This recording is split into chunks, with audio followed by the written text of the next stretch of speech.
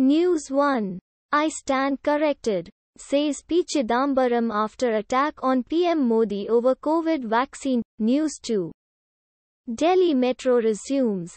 Restaurants, gyms reopen in Mumbai. States begin to unlock. News 3. 18 workers die in Pune factory fire.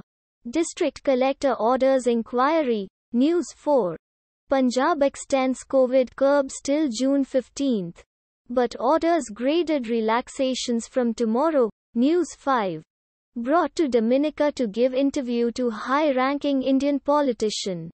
Mehul Choksi in complaint to Antigua police. News 6. COVID-19 center issues vaccination SOPs for people flying abroad for work.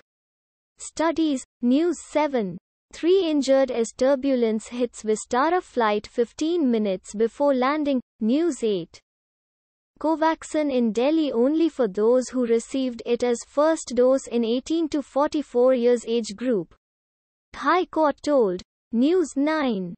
Uddhav Thackeray to meet PM Modi tomorrow. Likely to discuss Maratha quota.